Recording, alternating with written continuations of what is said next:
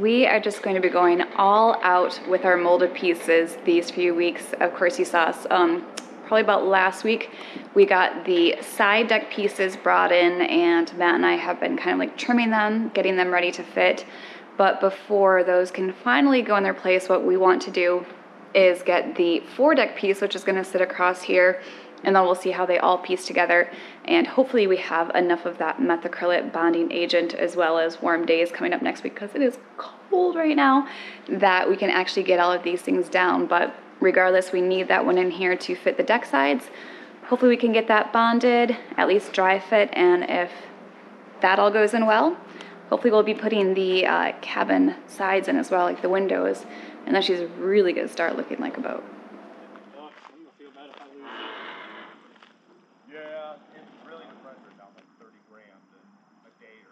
So today is the day to have both the doors open, mostly because we are working on bulkhead one over on starboard side here.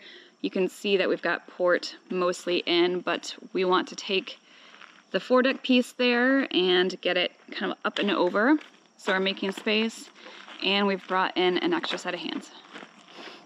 So what is the plan on how we're getting this up? Push really, really hard and fast. We're just shoulder pressing this thing. Yeah, I think so. It's not that heavy actually. Justin and I carried it over pretty easy. Um, so I well, we'll go long ways. Yeah. And just get it up there. I think the same thing we did last time. Put a ladder, have someone else hold it, someone else run up there on deck, pull it up, and.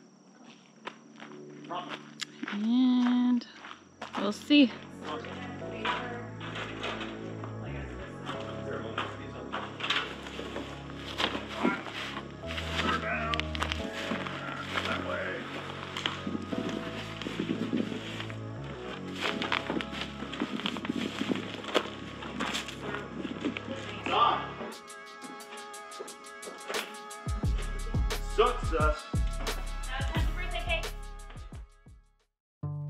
After eight years of the nomadic life, involving crossing oceans in a 34 foot Sabre, refitting an aluminum boat, and then taking that to the Arctic Circle, we're back at it again with a brand new build.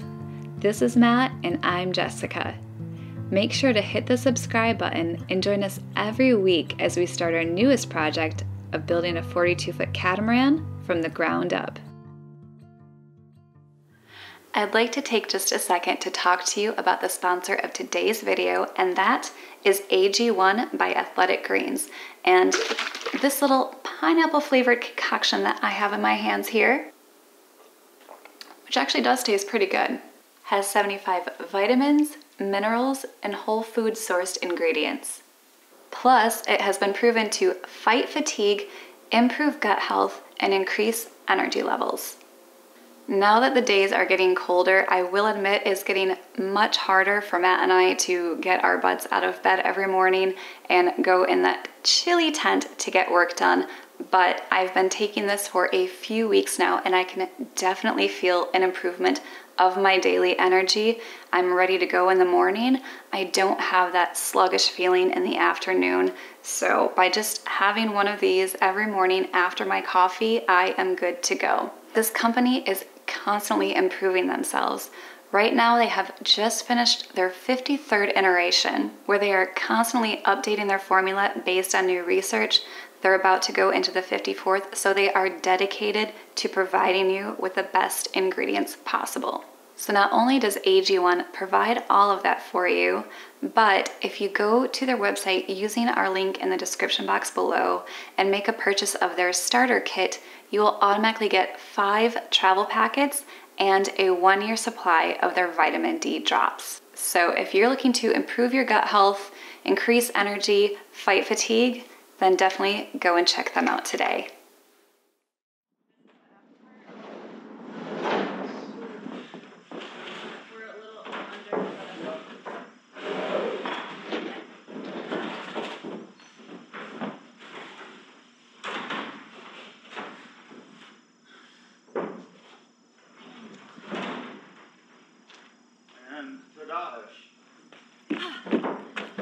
That actually went a lot smoother than we thought. Both Tucker and I were on the ladders lifting it up. And my muscles aren't too strong, but my head is, luckily. And so once we got it to a spot that was over the lip, Matt went up and started pulling it in, and then we got it in place. So let me uh, show you what it looks like from the deck.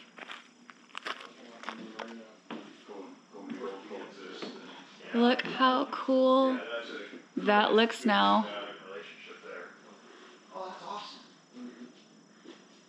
So let me duck under this and give a better view.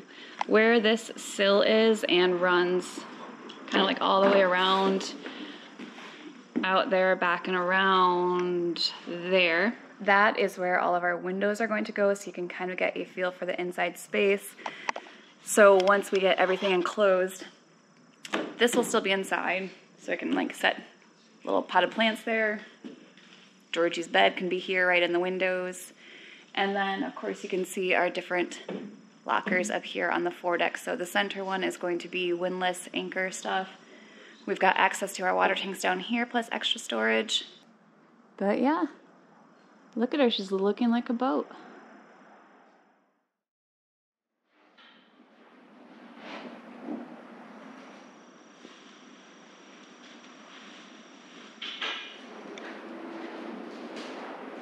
Days are definitely cooling off and we're outside of that Goldilocks zone now where uh, things were still warm enough to bond while keeping it cool enough for Matt and I to work all day long. And we're kind of below normal temperatures in the low 50s, so we do have our heating lamps. But one of the steps that we're working on today is getting the upper parts of the bulk heads attached to the hull side. Just with a um, little bit of thickened resin right now, we will go back later and fill it and glass those in. But as we do that, we can set the uh, bulkheads kind of like in their final positions in relation to the hull sides. And then that is going to set where the deck is going to be in its final position. You've seen us over the past few days making adjustments, kind of tweaking things. And after getting the foredeck piece in last night, we kind of really know how it's all coming together. So, yep, we're gonna get the heat lamps on these. It's like the hottest part of the day right now. Let them sit for a few hours and um, keep working towards next week when it warms up to the 60s again and we can actually get these decks bonded down.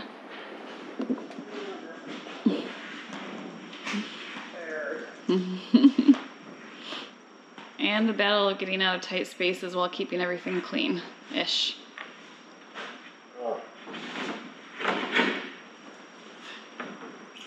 Here's my hand. Got the heating lamp going in there? I do. Huh.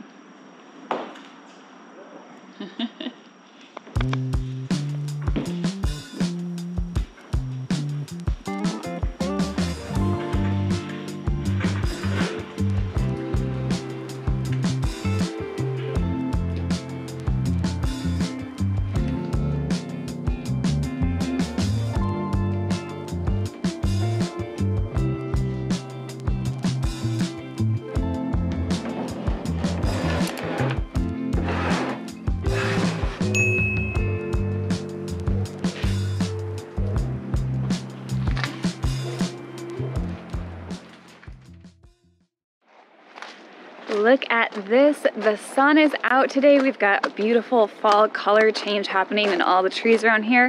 And the temperatures have warmed up enough that we can finally go ahead and bond those side decks that we've been working on for maybe a little over a week now. So I've got everything taped up. Matt has taken the acetone to clean it. And I think we're just gonna do one at a time because we may still need to put heating lamps on them just to make sure everything cures. So today we're gonna do port side and then kind of prep for starboard and do that tomorrow. But um, yeah, how fun is that that we're gonna have decks that we can walk on now? Reduce, reuse, recycle. Uh-huh. Matt is cleaning out one of our old buckets of the old methacrylate that's still stuck on it. Give it a good wash and then we'll be ready to go. And you can see our side deck hanging like way up in the air to give good access so that as I'm bagging up the methacrylate, Matt can start laying down a bead. We're getting good at this. We are. We're we getting much better. figured out the process, and I got a little bit better at my math. So, well, Won't be like the I, transom. I we guess I hope. shouldn't say that yet. We'll see. Yeah, it's not done yet. And since this is just the two of us here now, um, because when we did the transom, we had Ryan and Bert. Um, I didn't show it when we did the cockpit seats, but, and yes, everybody, you are right. I listen to you now. I put the bag inside like a cup and then I scoop into that. So I've gotten much faster at the bagging. And hopefully, I can get however many bags we're going to need for five of them filled up, and then I can join Matt and laying that bead down. And then hopefully, we can get the deck in place. And since it has been cold, we've been storing this inside the heated bathrooms here at the marina, especially since it's basically just us living here now, so we can deal with the smell. And we put in a big, big bag to try and contain that. So we've got. And it's got a gasket on it. And it's got a gasket on it. And then also, way back here, we have the hardener, the catalyst, because we want to take that whole thing in too, so we just scoop some out into a fun little Folgers jar. And so hopefully that warmed it all up enough that it's gonna cure faster than if we had left it in the tent, which still stays uh, pretty cold overnight right now. Oh, and a quick rundown because Matt's going to be starting this again while I'm down below bagging. So what the plan is going to be is you can see we've got it very raised right now and so Matt is going to be able to get inside the hulls now and within different areas standing kind of wherever he can. We'll get up and over and put the bead down all along the outer edge here. And of course, where it matches up to the cockpit seat, this should be easy access. Got the foredeck temporarily out of the way. And you can just see we've got like random kind of beams holding it up. So I think the plan is that we will lower that one, try and get the aft end in place first, and then come over here and slowly remove these, make sure everything kind of like shifts over, and just kind of hope that it all works out. Not a lot of like planning and lifting going into this one, like for other things like the hull sides and whatnot.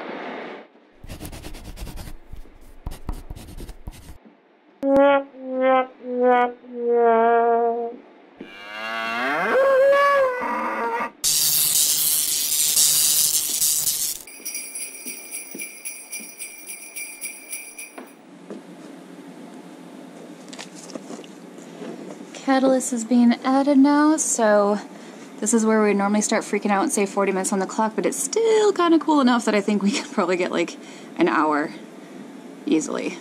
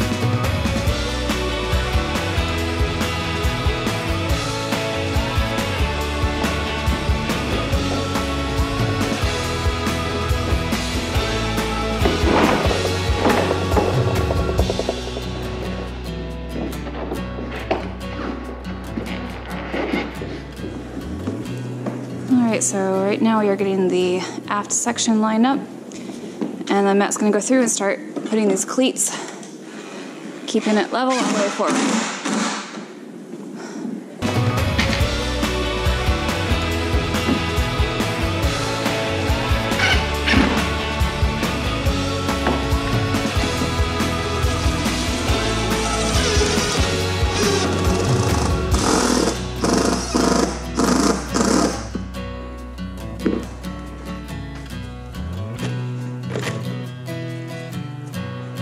Look at Matt, already getting ready for tomorrow's side.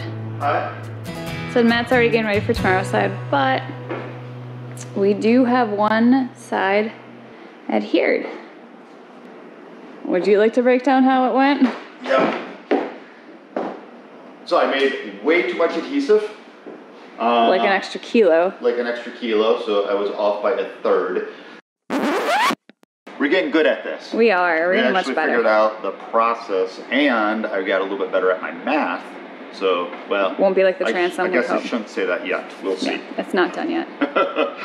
this was a lot tighter tolerance through here. Um, so when it squeezed together, it it took a, a lot of it extra, uh, a lot of the extra adhesive actually oozed out, and so we were able to scrape that off. Um, and then we put that in some other places that actually needed some anyway. But yeah, we ended up using probably an extra kilo, um, lots of gooey mess squirting out everywhere. So we had to go through, clean all that up, and then it actually set very fast. So we thought it was going to be probably longer than an hour that we'd had because of this temperature. We were actually probably under an hour for the work time, um, which was fine, but uh, we should have hurried faster because we were we were taking full advantage. We thought of the hour plus. And I get mad at Boo Boo. When I was pulling out one of like the wooden uh, things, I I jabbed she stabbed me. I jabbed him with a four x four. Yeah. So, So. but that's okay. It's success. Yep. It's adhered. Um, we'll go through. We're gonna we're gonna prep this side, the other side for tomorrow, and then probably tomorrow morning, as we're waiting for that to cure, we'll pull off the cleats and everything on this side. Actually, before that, because we're gonna need those cleats. Yep. Yes, we are. And look, I'm walking on our new side deck.